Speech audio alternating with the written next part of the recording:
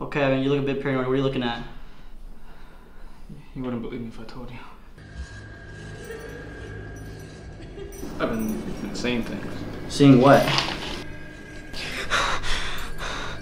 It's just your imagination.